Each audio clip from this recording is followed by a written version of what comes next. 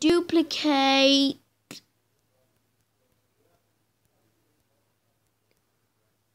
frames. Whoop, whoop, whoop, whoop, whoop, whoop, whoop.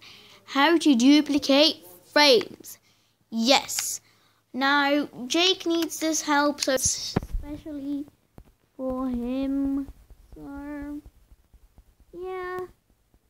We are just gonna start with it now. Alright, guys, we're back. As you can see, I've drawn this little circle over here. And we will be duplicating it. As you can see, there's this left row. As you can see, you can flip it. So use your thumb or whatever you use to like, do it.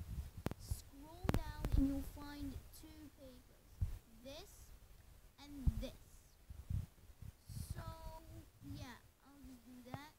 There is right there. And that is right there.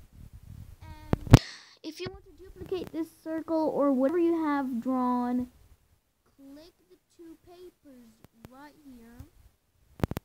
Go to the plus and then click the one paper. And as you can see, it will duplicate.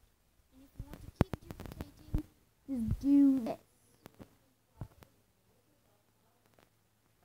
Right, that's all I've got to show. And if you need more help, please comment down below more help on how to duplicate frames. I pretty much know how to zoom up, how to select things, and also how to duplicate. I pretty much know a lot. And if you do want to duplicate in a kind of different way, go to this.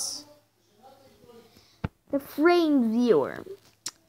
And if you click on this, um, this is kind of a hard one. So unselect these ones that you do not want to duplicate and click this one. And then you'll do this.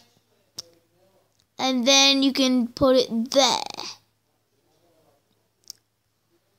And there you go. That it goes. But it is difficult. So, yeah. That is how you duplicate frames in two ways. And I hope you've enjoyed this video. So, yeah. Thanks for watching. And if you want more tutorials like this on FlipaClip, please tell me in the comments down below. Bye.